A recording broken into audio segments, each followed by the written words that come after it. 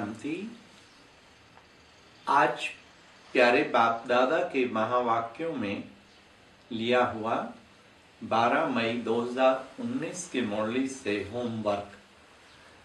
आज प्यारे बाबा ने कहा, तुम हो बाबा के बड़े बच्चे, वंशावली के बड़े बच्चे, मुख वंशावली हो, और इस पूरे ब्राह्मण परिवार के बड़े बच्चे और बड़ों का फ़र्ज़ क्या होता है? बड़ों का फ़र्ज़ सारे परिवार की संभाल करना। तो क्या हद का ख्याल रहता है या बेहद का ख्याल? बेहद विश्व के हम बड़े बच्चे बाबा के हम्म, जो ईश्वर को पहचाने हुए तो हमारा सारे विश्व की आत्माओं का सारे विश्व के धर्मों के प्रति शुभ भावना चलनी चाहिए कि सबका कल्याण सबका भला।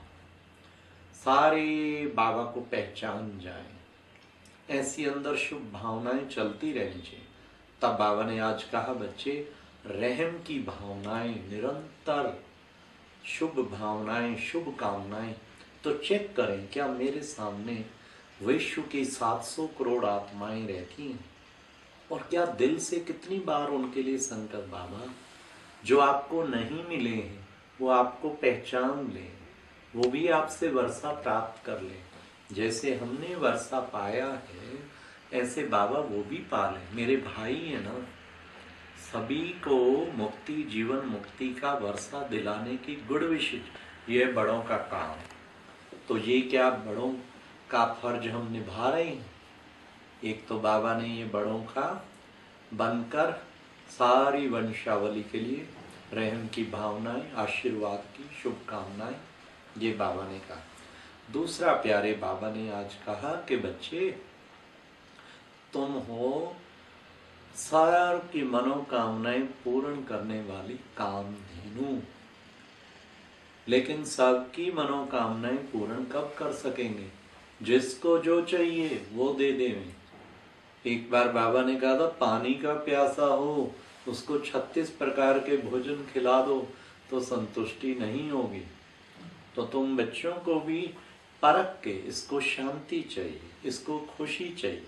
ये दिल दिलकश है, इसको उत्साह चाहिए, उमंग उत्साह चाहिए। ये ज्ञान का पिपासा है तो ज्ञान चाहिए। हर आत्मा की नब्ज पर परख के उसकी मनोकामना पूर्ण कर देना। और बाबा ने कहा सबकी मनोकामना पूर्ण करने वाली कामधेनु बनो। लेकिन ये कब बनोगे? जब आपकी हद की जो कामनाएँ हैं, वो समाप्त हो जाएँ। अभी हद की कामनाएँ हैं। और यही बाबा ने आज कितना गहरा कनेक्शन जोड़ा, जो काम जीते, जगत जीत कहते हैं। बाबा ने कहा, ये ये ये भी एक काम का रूप है। कामनाएँ होना, इच्छाएँ होना। तो आज बाबा की मुरली के होमवर्क का रिस्पेक्ट हम चेक करें। कौन कौन सी इच्छाएँ अभी भी सूक्ष्म में छिपी पड़ी हैं? हद की इच्छाएँ, हद की विनाशी प्राप्तियों की इच्छाएँ मान शान की इच्छाएँ, कौन सी इच्छाएँ हैं, उनको आज फुल स्टॉप करें। बाबा के आगे अर्पण करें। बाबा ने कहा, चतुर सुजान को से चतुराई खेलते हैं चतुर बन के। कहते, बाबा, ये सेवा है ना, इसलिए अंदर में इच्छा है। तो इसलिए इसको खत्म करो। फिर बाबा ने कहा काम धेनु बन के सबकी मनोकामना पूर्ण कर पाएँगे। फिर बाबा ने कहा, अभी तो तुम्हारा पूज्य स्वरूप भी प्रत्यक्ष होना है। और जब पूज्य स्वरूप प्रत्यक्ष होगा तो क्या होगा? बाबा ने कहा, सब आपके पीछे लग जाएँगे। यही हैं। पूजा कराने वाले नहीं, स्वयं पूज्य यही है हमारे इष्ट जिनको हम ढूंढ रहे थे। इन्हीं से हमारी सारी मनोकामनाएँ पूर्ण होंगी। ये है पूज्य स्वरूप आज तो बाबा ने मुरली में ऐसा सम्मान जागृत किया सबका। क्या आगे आने वाला है टाइम तो एकदम ऐसे मैं तो सुनते सुनते ऐसा भाव विभोर हुआ कि बाबा के ठीक ही शब्द हैं। मिरुआ मौत, मलू का शिकार, आपदाएँ बाकियों के लिए हैं। लेकिन तुम बच्चे जो अच्छा पुरुषार्थ कर रहे हैं अंत में तो तुम्हारे जय जयकार के नारे लग रहे होंगे और तुम्हारा पूज्य स्वरूप प्रत्यक्ष हो जाएगा। लेकिन कसर कहाँ है? बाबा ने कसर का आज एक तरीका बताया, बस एक चीज़ खत्म कर दो। वो क्या है? मेरा मेरा मेरा। मेरा संस्कार, मेरा स्वभाव। कहाँ से आया मेरा? बाबा कहते, बाप के संस्कार सो मेरे संस्कार। ओरिजिनल संस्कार ही ब्राह्मणों के संस्कार हैं। तो हम चेक करें, ये मेरापन खत्म हो गया क्या अपने संस्कार स्वभाव भी बाबा पे अर्पण कर दिए और बाबा, वही वही करूँगा जो आपका है। वही वैसा ही रहूँगा जैसे आपका है। ये है बाबा के संस्कार सो अपने संस्कार। बाबा और अपने में टैली करते रहो। क्या बाबा का बिल्कुल ऐसा संस्कार है? बाबा प्यार का सागर, बाबा की जरा भी नफरत किसी के लिए बाबा कभी किसी को टॉन्ट नहीं करते, बाबा हमेशा सबको उत्साह दिलाते तो मेरा क्या रोल चल रहा है? तो ये मेरे, बाबा को कभी किससे, कभी जलसी होती तो मेरे को क्यों होती? ये है बाबा कहते बाप के संस्कार, बाबा जैसे सबको उठाने की भावना, सबके लिए गुड़ विषय ऐसे ही मेरी होनी चाहिए। बाबा ने कहा, मेरा मेरा मेरा, खत्म करो। इसीलिए थोड़ी प्रत्यक्षता रुकी हुई है। प्रत्यक्षता होगी जब ऐसे अपने संस्कार बनाएँगे। खाली भाषणों से नहीं होगी। बाबा ने कहा भाषण करना भी ज़रूर है। और भाषण करो तो वो भी कैसा करो? आज बाबा ने वो भी बताया भाषण कैसा करना? भाषण ऐसा करें जो भाषा से भी परे ले जाए। आवाज़ ऐसी कर, आवाज़ हो लेकिन आवाज़ से परे ले जाने वाले। सुनते सुनते अनुभूति में डूब जाए। तब होगी प्रत्यक्षता। बाबा ने कहा, हमेशा जब भी कुछ सुनाओ तो जैसे उन्हें लगे कि लहर में लहरा रहे हैं और पहुँच गए कहीं, अनुभूति में खो जाएँ। फिर बाबा ने कहा, जिसको शांति, शक्ति की कभी भी थोड़ी सी अनुभूति होगी, वो फिर बाबा के करीब आ जाएगा। वो छोड़ेगा नहीं संस्था को भी। निकट आ जाएगा। यही तो चाहते हैं, सेकंड की भी कोई अनुभूति करा दे। तो सबसे बड़ी सेवा अनुभूति करना और कराना, इससे बड़ी कोई सेवा नहीं। तो ये प्यारे बाबा ने आज ये तरीका बताया। और फिर बाबा ने कहा कि बच्चे, तुम सब बच्चे कौन हो? सबसे मुख्य चीज़ बाबा ने विशेष ये कही कि देखो बच्चे, ये जो है ना, आप अपने आप को, अपनी सेवा को भी बाप के आगे समर्पित कर दो। फिर बाबा के आगे अर्पित करेंगे, तब बनेंगे समर्पित आप। तो देखे, मैंने समर्पित किए मेरी सेवा नहीं। सेवा मिल जाए, सेवा छूट जाए छूट जाए तो भी नहीं कोई।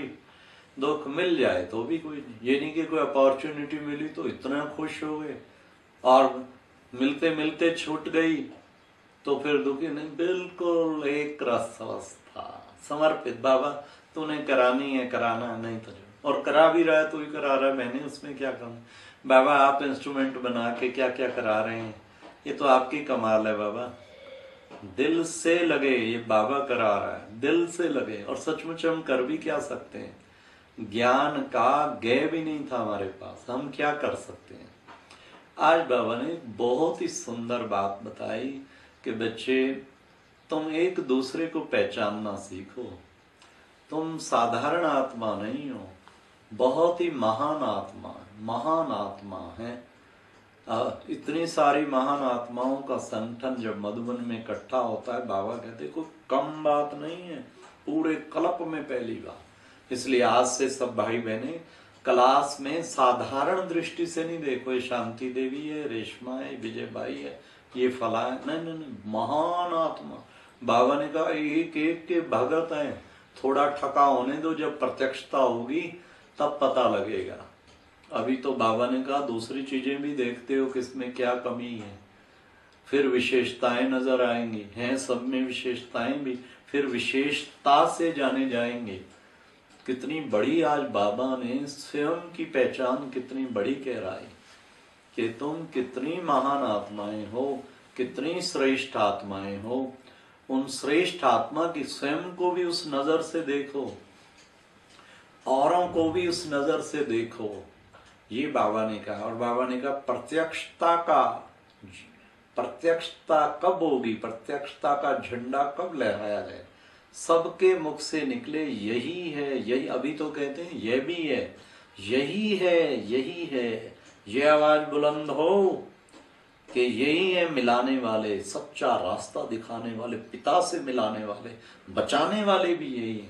आप लोगों के टाइम में और कोई नज़र नहीं आएगा। यही है यही है। ये ये एक आवाज़ चारों ओर फैल जाएगा, वायरल हो जाएगा कि यही है श्वेत वस्त्रधारी तपस्वी भाई बहने सोचो तो सही, वो टाइम को याद तो करो, आज की मुरली तो इतना नशा चढ़ाने वाली है, अपना वो स्वरूप याद दिलाने वाली है। क्या होगा प्रत्यक्षता का टाइम? एक एक के सामने सैकड़ों की लाइन लगी होगी। तब बाबा ने कहा, यही टाइम है जो संपन्न बना सकते हो। लास्ट टाइम में तो देना ही देना होगा। अभी फिर भी पुरुषार्थ के द्वारा संपन्न बनाने की मार्जन है। इसलिए आज की मुरली का होमवर्क सारा दिन अपने, में महान आत्मा दूसरों को भी एक महान आत्मा की दृष्टि से दे। आज निश्चय कर ले, जो भी ब्राह्मण भी संपर्क में मैंने आज से प्रतिज्ञा करे, महान आत्मा के रूप में देखना और जिसको भी मिले उसे कुछ अनुभूति ज़रूर कराए। ये सबसे बड़ा पुण्य है। इससे बड़ा कोई पुण्य नहीं है। ये है आज की मुरली का होमवर्क। और बड़े होने के नाते सारे विश्व की आत्माएँ इमर्ज हों। उनके प्रति रहम की भावना निकले। अच्छा ओम शांति।